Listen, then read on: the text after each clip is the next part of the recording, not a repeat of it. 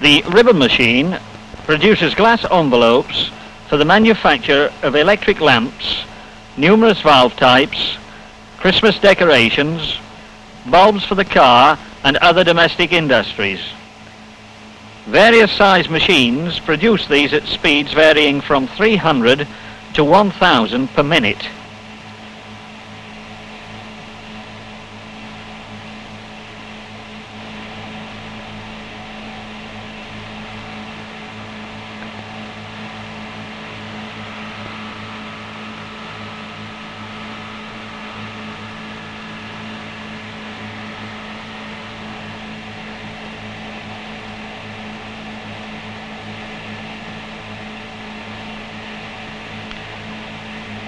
In order to explain the operation of the ribbon machine, let us look at the 3.9 inch pitch machine which produces the large bulbs at slower speeds.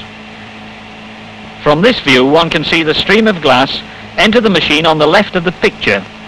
The chain carrying the blowing tips is moving along the top half of the machine in an anti-clockwise direction, whilst the mold carrier chain is moving in a clockwise direction in the lower half of the machine.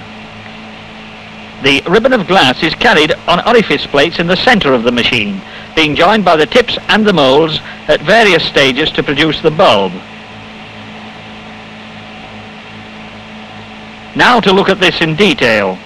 A stream of molten glass leaves the furnace forehearth and enters two rolls, one being a pocket roll and the other having a plain surface. The glass is rolled into a ribbon with pockets of glass at regular intervals each pocket locating with an orifice in the plate.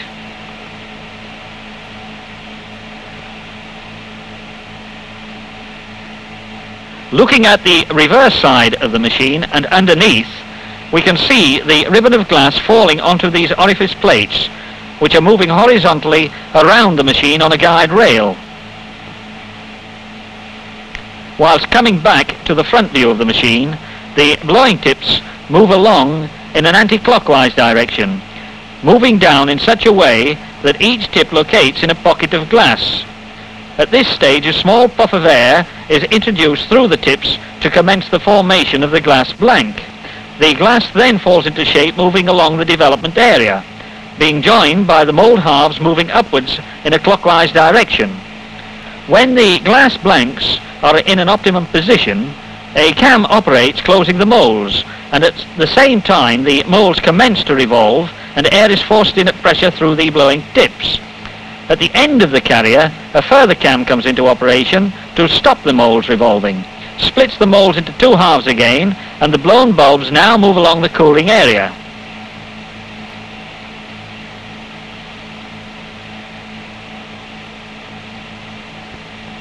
They are then knocked off the. The bulbs are examined, both visually and dimensionally, by quality control methods.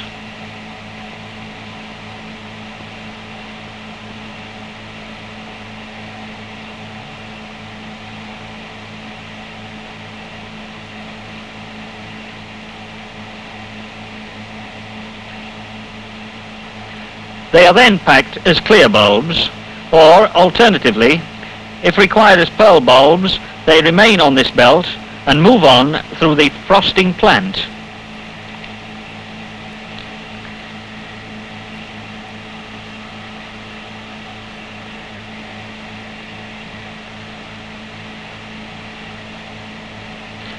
In order to process them in the frosting plant, it is necessary to place the bulbs into trays.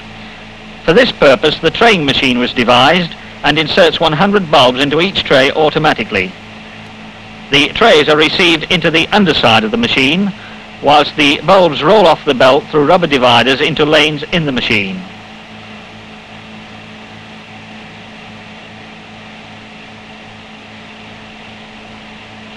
The operators are evenly balancing the number of bulbs in each lane.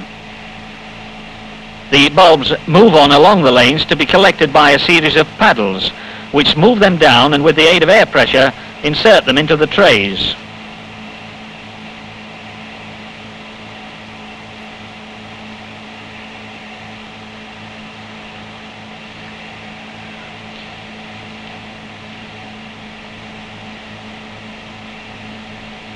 From here, the trays move on past a further visual inspection point and into the frosting process.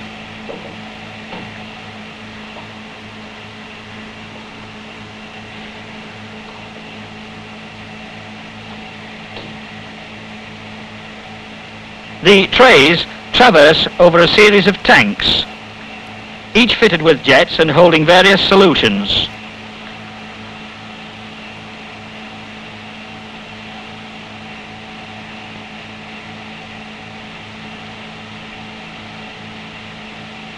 The first tank contains a hydrofluoric acid mixture which etches the surface of the bulb.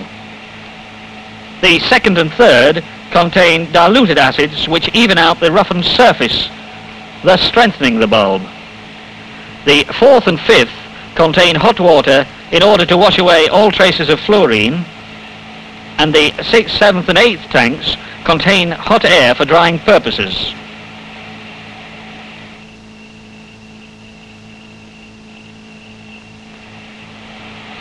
After being processed, they receive a further visual inspection in this case, the examination of the underside of the bulb, again by the aid of mirrors.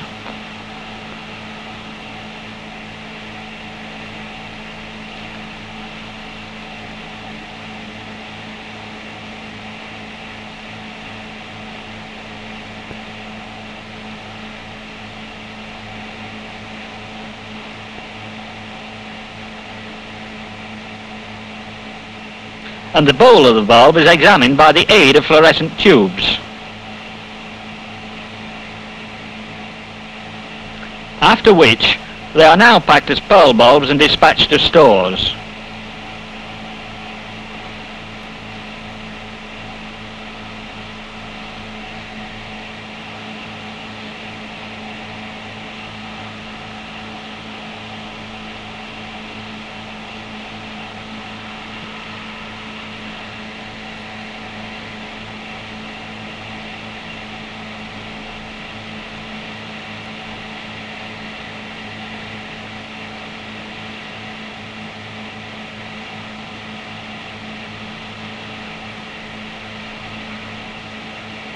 From here, they proceed by road and rail to the various manufacturers in this and 27 other countries.